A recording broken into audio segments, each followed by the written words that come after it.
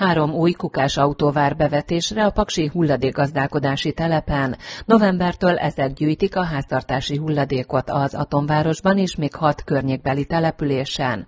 A korszerű, gázüzemű, részben elektromos működtetésű kukásautók üzembe helyezésével újabb lépést tett a város a klíma és a környezetvédelem felé. 25-30%-kal kevesebb a széndiokszid kibocsátása ezeknek a e, gépjárműveknek, mint a hagyományos dízel és benzines e, gépjárműveknek, ezen túl pedig még egyéb üvegházhatású gázok e, kibocsátása is sokkal alacsonyabb ezeknek a CNG üzemű autóknak. A gépjárművek beszerzése, valamint az elektromos és gáz állomás kialakítása az Innovációs és Technológiai Minisztérium pályázati támogatásából valósult meg.